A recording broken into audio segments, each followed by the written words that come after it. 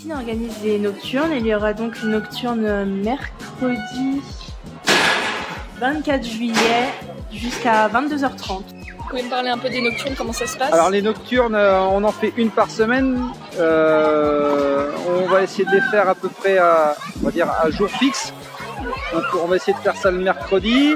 Et la piscine, en fait, ce jour-là sera ouverte de midi jusqu'à 22h30.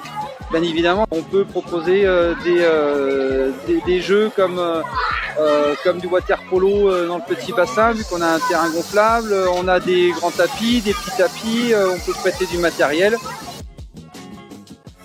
Sur le stand, on vous propose des crêpes sucrées, des crêpes salées, des saucisses, chipots, merguez, des boissons, des glaces et des sucettes pour combler tous les petits creux.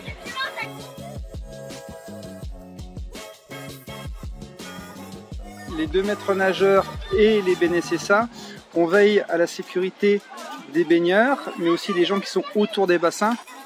Voilà.